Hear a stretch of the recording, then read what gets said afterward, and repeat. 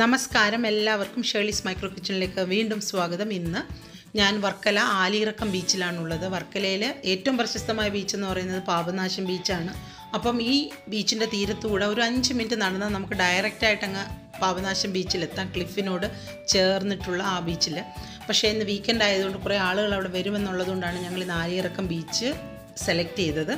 ഞങ്ങളുടെ ഡ്രോൺ ഒന്ന് പറത്തി കുറച്ച് നല്ല വിഷ്വൽസൊക്കെ ഒന്ന് കേരളത്തിൽ എടുക്കണമെന്നുള്ള ആഗ്രഹമുണ്ട്. പക്ഷേ ഏറ്റവും നല്ല വിഷ്വൽസൊക്കെ ഒരു പക്ഷേ പാവനാശം ബീച്ചിലും കിട്ടാം. അത് പിന്നീട് വിശദമായിട്ട് ചെയ്യാം. അപ്പോൾ ജസ്റ്റ് ഒന്ന് ട്രൈ ചെയ്ത് നോക്കുന്നതേ ഉള്ളൂ. ബാറ്ററി ഒക്കെ ചാർജ് ചെയ്തിട്ട് തന്നെയാണ് വീട്ടിൽ നിന്ന് ഇറങ്ങിയത്. അപ്പോൾ പ്രശ്നമൊന്നും ഉണ്ടാവാൻ വഴിയില്ല. അപ്പം അത് ജസ്റ്റ് സ്റ്റാർട്ട് ആവാനൊക്കെ പോകുന്നുണ്ട്. സ്റ്റാർട്ട് ചെയ്തിട്ടുണ്ട്. അജിയാണ് അതിന്റെ ഫുൾ കൺട്രോൾ ഞാൻ ഇന്ന് വരെ അത് കയ്യിലെടുക്കുകയോ അതിനെ എങ്ങനെയാണ് കൺട്രോൾ ചെയ്യുന്നതെന്നൊന്നും എനിക്കറിയില്ല. നല്ല പൊക്കത്തിൽ പോകുന്നുണ്ട്. അപ്പോൾ രണ്ട് മൂന്ന് പ്രാവശ്യം ഇങ്ങനെ പൊക്കത്തിൽ പോയപ്പോൾ പരുന്ത് അതിന്റെ കൂടെ പറക്കുന്നുണ്ടായിരുന്നു. ഒരുപാട് പൊക്കത്തിൽ ഈ ഡ്രോൺ പോയിട്ടുണ്ട്. ഇവിടെ ക്ലിഫ് എന്ന് പറയുന്ന നല്ല പൊക്കത്തിലാണ്. ഈ സൈഡിൽ നിങ്ങൾക്ക് കാണാം ഈ കുന്നുപോലുള്ള സ്ഥലം. അപ്പോൾ അതിന്റെ മുകളിലൊക്കെ ഒരു ആയുർവേദ റിസോർട്ടൊക്കെ ഉണ്ട്. അപ്പം നമ്മൾ ഡ്രോൺ ഒന്ന് പറത്തി നോക്കിയപ്പോൾ അതിന്റെ മുകളിൽ പോയിട്ട് നല്ല വിഷ്വൽസ് ഒക്കെ എടുത്തിട്ടുണ്ട്.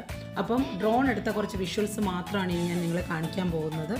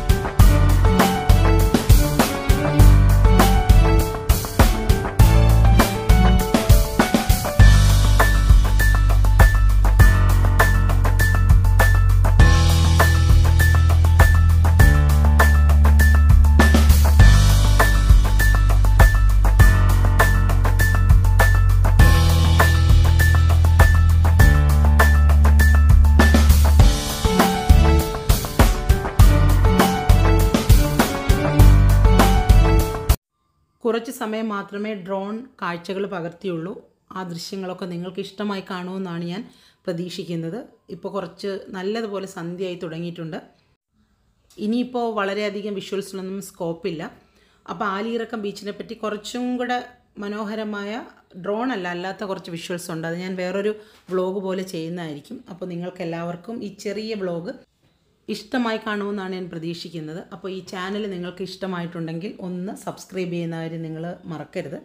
അപ്പോൾ വീണ്ടും കാണുന്നത് വരെ എല്ലാവർക്കും bye from Shirley's micro kitchen